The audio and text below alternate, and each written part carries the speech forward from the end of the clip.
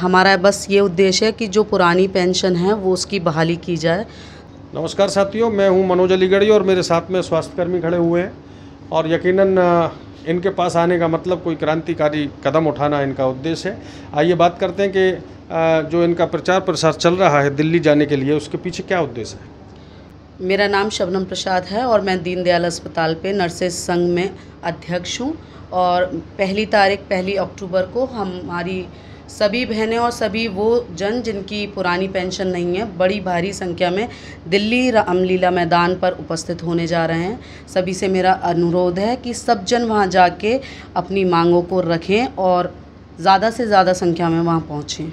रामलीला मैदान में एक तारीख को भारी समर्थन में जाना की कोशिश करें। सब लोग, सारी मेरी बहन, मेरे भाई जितने भी हैं जितने भी ज़रूरी नहीं है कि नर्सिंग ही हो, टीचर्स हों, सब राज्यकर्मी, सब उत्तर प्रदेश के जितने भी सरकार सरकारी लोग हैं, वो लोग भारी संख्या में जाएँ ताकि हम लोग सरकार से हम ये गुहार लगा सकें, हम एक विनती कर सकें कि हमारी मांग को, हमारी पेंशन को सुनवाई करी जाए जो कि हमारे बुढ़ापे की लाठी है हमारे। हम लोग एक अक्टूबर को, हमारा स्टार्टिंग पॉइंट दीनदयाल से सुबह साढ़े पाँच बजे हमारी बस आ जाएगी। हम लोग यहाँ से बैठेंगे। कुछ लोग जो दीनदयाल कैंपस में रहते हैं वो यहाँ से जाएँगे। फिर कुछ लोग जो मलखान सिंह रहते हैं वो उन लोगों को लेंगे मलखान सिंह जिला अस्पताल से महिला अस्पताल से। तो हमारी सारी बहनें हमारे सहयोग में जाएँगी हमारे साथ में और जो C H C P H C वाले हैं सबको हम लेके जाएँगे। जी हम अपनी हमारी मेन तो पेंशन की ही गुहार है जो कि हमारी सरकारी नौकरी की हमारी बुढ़ापे का सहारा है हमारे लिए। तो हमारी सरकार से विनती है हाथ जोड़ के निवेदन है कि उसकी ज़रूर सुनवाई की जाए। मेरा नाम धर्मेंद्र सिंह तोमर है और मैं राज, फार्मेसी राजपत्रित अधिकारी का मंडलीय अध्यक्ष हूँ।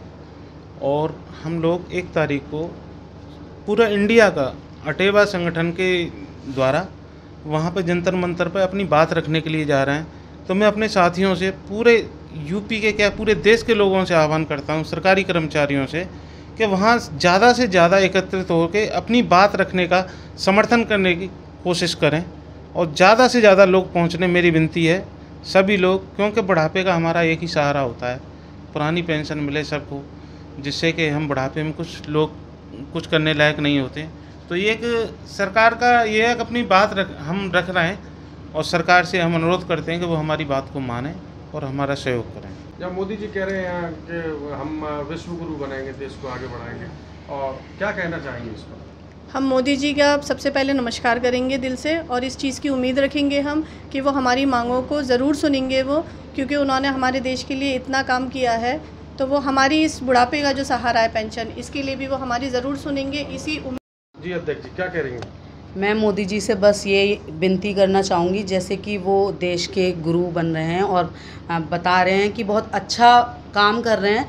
जिस जिस तरह से हम लोग अपने विभाग में, अपने मरीज़ों की, अपनी जनता की सेवा करते हैं दिन रात रह के तो हम चाहते हैं कि हमारी जो पेंशन है, जो बुढ़ापे की लाठी है, उसको वो बहाल कर दें ताकि हम भी बिना किसी दबाव में आके बिना किसी टेंशन में आके अपने मरीज़ों की उसी रूप से जैसे मोदी जी अपने देश की सेवा कर रहे हैं वैसी हम निरंतर उस सेवा में लगे रहें हमें भी पंद्रह सोलह साल हो गए हैं इस नौकरी को करते हुए और यही आसरा है कि आज नहीं कल नहीं कभी तो पेंशन बहाल की जाएगी। तो यही विनती करती हूँ कि तो मोदी मतलब जी लोगों को स्वस्थ करके आप विश्व गुरु बनाएँगे भारत जी जी जी।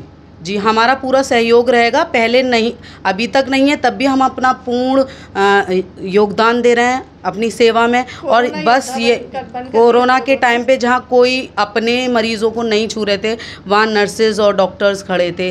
वहाँ देश की सेवा के लिए हमने अपने बुज़ुर्ग माँ बाप नन्हे बच्चों को घरों से अलग रह के क्वारंटाइन हो हो के, खुद भी बीमार होने के बाद जैसी ठीक हुए, वैसी हम सेवा में लग गए। तो कहीं ना कहीं ये है कि हमारे ऊपर भी वो दया की दृष्टि करेंगे सभी लोगों पर और पुरानी पेंशन बहाल करेंगे। बस मेरा यही कहना है, सबसे कि सब एकत्रित होएँ। एकता में ही ताकत है, सब लोग मिलके चलें। पहली अक्टूबर को दिल्ली रामलीला में और हम सब अपनी पेंशन की बहाली के लिए मोदी जी से रिक्वेस्ट करते हैं कि वो हम पर अपनी दया दृष्टि बनाएँ।